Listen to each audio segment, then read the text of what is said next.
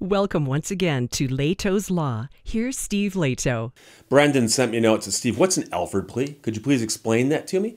And that's a good question. And I've been asked that before, and I didn't really get into it. I thought it might be a little bit too far afield. But lately, I think that many of the people in my audience want stuff to go a little deeper, a little further into the weeds, as I like to say. And so an Alford plea is something you may have heard before.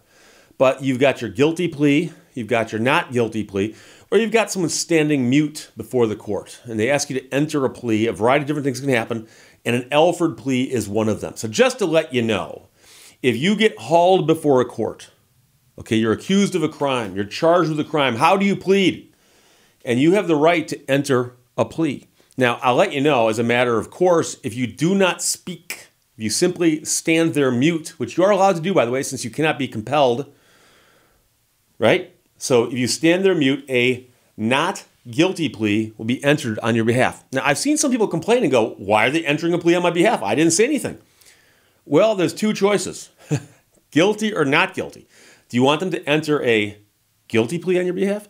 And actually, not guilty makes more sense because, of course, you are not guilty unless and until proven guilty. So to enter a not guilty plea on your behalf makes sense because you're presumed to be not guilty at that point in time. However, of course, the Alford plea is something else altogether. So you may have heard about this. One of the most famous cases is the West Memphis 3. I'll talk about that in a second. But an Alford plea, by the way, it's also sometimes called a Kennedy plea. And it's named after a case involving a guy named Alford. So that's how it got known as the Alford plea or the Alford doctrine.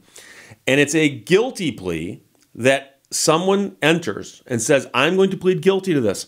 But I want to still say and maintain that I am innocent.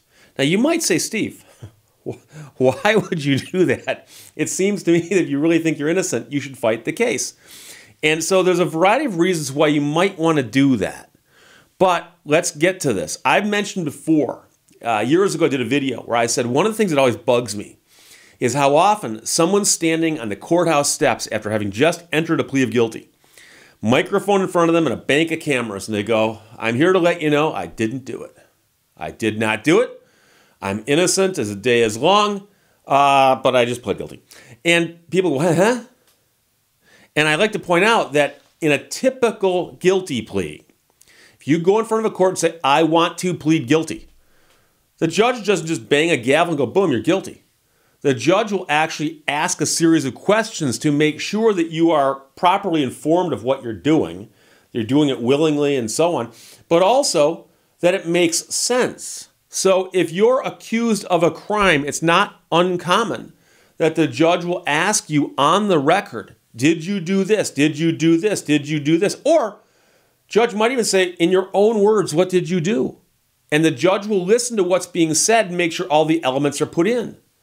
And then the judge will turn to the prosecutor and go, Prosecutor, does that meet the definition of standards necessary for a guilty plea? Yes? Okay. Defendant, counsel, do you agree that it meets the standards? And the parties all agree that they put in enough information to have a guilty plea be taken that makes sense. So a person will usually say, I'm pleading guilty because I did it. So let's assume there's a situation where you want to argue that you didn't do it, but you still want to plead guilty. And you're saying, Steve, you've tap danced around this. What is actually going on here?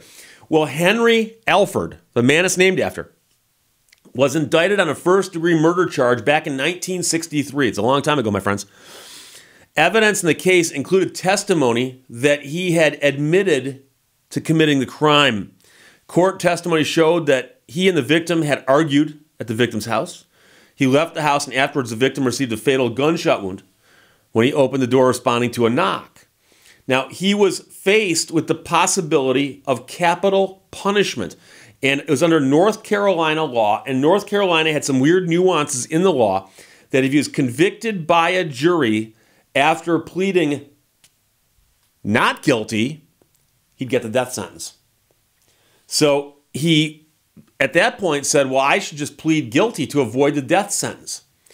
And after pleading guilty and sitting in jail for a little while, he realized that somehow he was kind of stuck in, between a rock and a hard place. And he had simply, he said, pleaded guilty because if he hadn't, he faced the death penalty, which he wouldn't face if he pleaded guilty. So, he was sentenced to 30 years in prison after the trial judge accepted the plea bargain uh, because he pled to a slightly lesser thing and ruled the defendant had been adequately advised by his defense lawyer. He appealed, asked for a new trial. It worked its way all the way up Supreme Court of North Carolina, U.S. District Court for Middle District of North Carolina on a habeas corpus, and finally the Fourth Circuit, and then the U.S. Supreme Court. Case was appealed to the U.S. Supreme Court. Justice Byron White wrote the majority decision, which held that for a plea to be accepted, the defendant must have been advised by a competent lawyer who is able to inform the individual that his best decision in the case would be to enter a guilty plea. Court ruled the defendant can enter such a plea when he concludes that his interests require a guilty plea and the record strongly indicates guilt. In other words, the defendant says, I didn't do it, but I'm still pleading guilty because the evidence might make it look like I did. And that's the thing is there's a strong indication of guilt. So to enter an Alford plea, you basically say, I'm pleading guilty. I didn't do it, but I will concede that if I went to trial, there's a strong likelihood I'd, be, I'd get convicted. Therefore, I'm entering the plea not because I'm saying I did it, but because it makes sense for me to do it almost like strategically. The court allowed the guilty plea with a simultaneous protest of innocence only because there was enough evidence to show that the prosecution had a strong case for a conviction and the defendant was entering such a plea to avoid the possible sentence. Court went on to note that even if the defendant could have shown that he would not have entered a guilty plea but for the rationale of a lesser sentence, the plea itself would not have been ruled invalid. As evidence existed that could have supported his conviction, the Supreme Court held that his guilty plea was allowable while he himself maintained he was not guilty. So, in a roundabout and weird way, he got to the U.S. Supreme Court and it didn't help him because he wound up living out the rest of his years in prison and he died there. But the Supreme Court said you can, under certain circumstances, plead guilty to something on the one hand while maintaining your innocence on the other hand, and we'll accept that guilty plea. That would be an Alford plea. So the West Memphis Three, and I'm not going to get heavily into this case. There have been documentaries and books, all kinds of stuff written about it. But there were three men convicted as teenagers in 1994 of a 1993 murder that involved three victims in West Memphis, Arkansas. Uh, one of the uh, defendants was sentenced to death, and another to life imprisonment plus two 20 year sentences and another to life imprisonment. During the trial, the prosecution asserted that the defendants killed the victims as part of a satanic ritual. Due to the dubious nature of the evidence, as well as the suspected presence of emotional bias in court, the case generated widespread controversy uh, and was the subject to several documentaries. Celebrities, musicians, and others helped raise uh, funds for them. Uh, and in July of 2007, new forensic evidence was presented which appeared to suggest that someone else had done it. So they went into court and they're fighting over this. And apparently, there's also a decision by the Arkansas Supreme Court regarding newly produced DNA evidence. There may have been some judicial misconduct. The West Memphis Three negotiated a plea bargain with prosecutors, and in 2011, they entered Alford pleas, which allowed them to assert their innocence while acknowledging that prosecutors had enough evidence to convict them. And the court accepted their plea, sentenced them to time served, and they all walked out of court free men. Now, some people will note and say, wait a second, these guys pled guilty to it. Isn't that an acknowledgement of guilt? except in the form of an Alford plea, which is them saying, we didn't do it.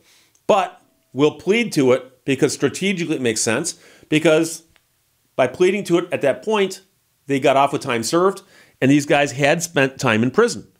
So that's how it worked out. And another reason for that, you might say, Steve, they're going to sentence them to time served. Why do the prosecutors insist on having a plead to anything? Why not just let him go? Well, you may have heard me talk recently about people who were wrongfully convicted who filed lawsuits against the government saying I was wrongfully convicted. I want some compensation. So these guys had gotten out and there was no Alford plea in place, they could turn around and say we were wrongfully convicted. But now, if they turn around and say we were wrongfully convicted, the state can say you guys pled guilty. You may have maintained your innocence, but you did plead guilty and you were convicted based on the Alford plea. So these guys do have records indicating that they pled guilty to the lesser offense at that later date in uh, 2011 and the Alford plea. However, that allowed them to get out of court. They got out of court, got out of jail, they're all free now. They're free now. So that is the Alford plea. It's a weird, nuanced type of plea that you can enter where, if it makes sense, you can say, on the one hand, I'm pleading guilty, but on the other hand, I'm maintaining my innocence.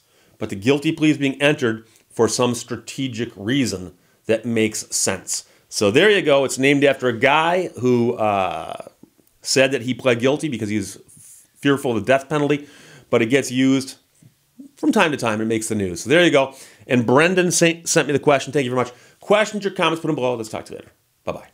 Thank you for watching Lehto's Law. Live in the moment. It's all you've got.